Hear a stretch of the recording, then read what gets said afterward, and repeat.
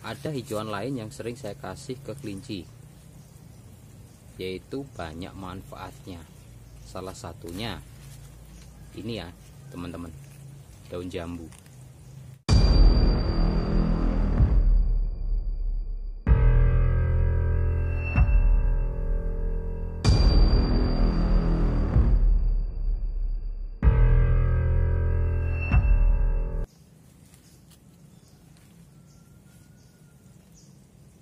Halo, Assalamualaikum warahmatullahi wabarakatuh. Ketemu lagi di channel saya Sobat Channel Halo Hobi Yang membahas tentang dunia hobi Salah satunya dunia perkelincian Oke Sobat channel di mana pun berada Bagaimana kabarnya? Semoga hari ini kabar teman-teman di mana pun berada Selalu sehat, panjang umur dan banyak rezeki. Amin amin ya robbal alamin terutama bagi teman-teman yang sama satu hobi dengan saya terutama di peternakan kelinci. Dan bagi teman-teman yang sudah memulai atau yang baru ingin memulai semangat terus jangan loyo. Saya yakin ke depannya dunia perkelincian terutama kelinci pedaging pasti akan dicari banyak orang. Dan saya doakan semua teman-teman yang hobinya sama dengan saya yaitu beternak kelinci. Sehat selalu dan sukses semuanya. Amin amin ya rabbal alamin. Oke sobat channel di mana pun berada sesuai konsep hari ini dan sesuai janji saya beberapa video sebelumnya saya hari ini akan membuat video tentang cara saya mencegah kelinci sakit dan kelinci sehat jikalau dikasih pakan hijauan. Seperti apa? Oke sobat channel di mana berada? Bagi teman-teman yang belum dukung atau belum support silakan support dahulu atau subrek channel ini supaya apa? Ke depannya saya bisa memberikan video-video yang bagi saya atau bagi teman-teman yang melihatnya bisa bermanfaat dan lain sebagainya. Oke sobat channel yang pertama pakan hijauan yang sering saya pakai atau saya kasihkan ke kelinci yaitu pakan hijauan bebas ya. Dan cara saya memberikan ke kelinci sebelum saya kasih pakan hijauan ini terlebih dahulu saya layukan. Gunanya apa? Satu pakan hijauan yang setelah kita ambil ya sobat channel itu banyak mengandung kadar air dan ada getahnya nah jikalau hijauan itu langsung kita kasih tidak apa-apa itu bagus juga. Melainkan kita mencegah kelinci kita sakit dari beberapa yang sudah teman-teman ketahui seperti halnya mencret, kembung dan lain sebagainya. Itu gunanya pakan hijauan yang setelah kita ambil jikalau kita layukan ya sobat. Berikutnya selain hijauan ada hijauan lain yang sering saya kasih ke kelinci yaitu banyak manfaatnya. Salah satunya ini ya teman-teman. Daun jambu. Daun jambu ini selain kesukaan bagi kelinci ini manfaatnya sangat banyak sekali ya sobat. Bisa untuk mencegah mencret atau cacingan. Ini menurut saya sobat.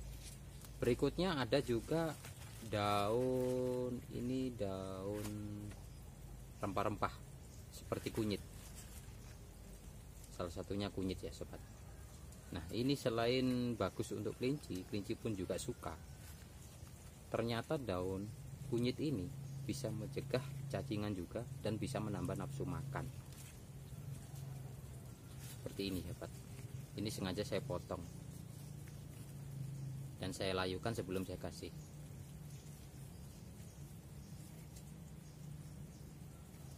Berikutnya selain dua daun yang sering saya kasih terutama untuk kesehatan kelinci terutama dari hijauan. Itu ada daun pisang. Nah, daun pisang. Seperti ini teman.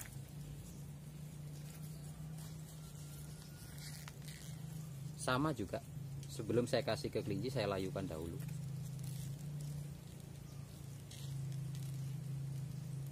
Ini manfaatnya lengkapnya saya kurang tahu juga sih teman-teman. Tetapi kelinci-kelinci saya setelah saya kasih daun-daunan seperti ini itu kesehatannya terjaga.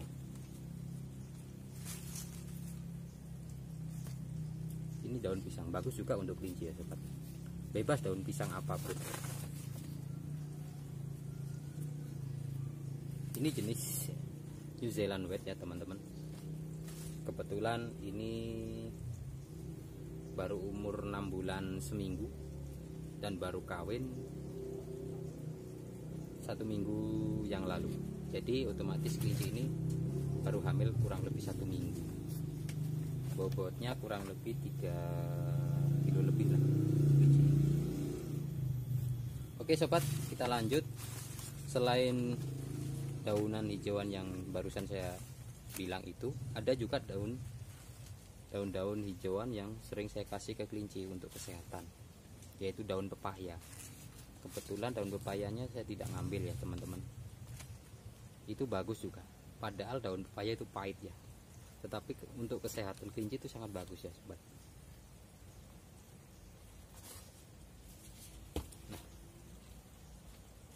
kita lihat seperti ini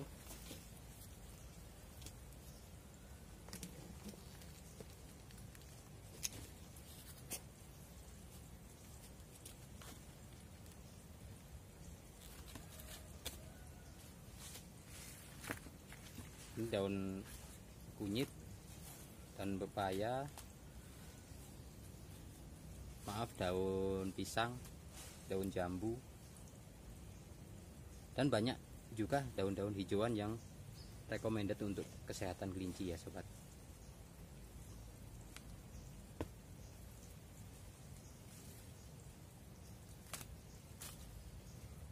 Oke sobat. Mungkin itu saja cara saya untuk mencegah kelinci sakit terutama dari pakan hijauan. Semoga video singkat ini sangat bermanfaat untuk teman-teman. Dan jangan lupa bagi teman-teman yang belum subrek bisa dukung terus channel ini. Supaya apa? Ke depannya channel ini bisa banyak manfaat untuk teman-teman semua. Oke sobat. Di video berikutnya saya akan membuat video tentang ciri-ciri kelinci yang terkena sakit terutama sakit skabies atau kutik. Oke sampai ketemu di video berikutnya. Assalamualaikum warahmatullahi wabarakatuh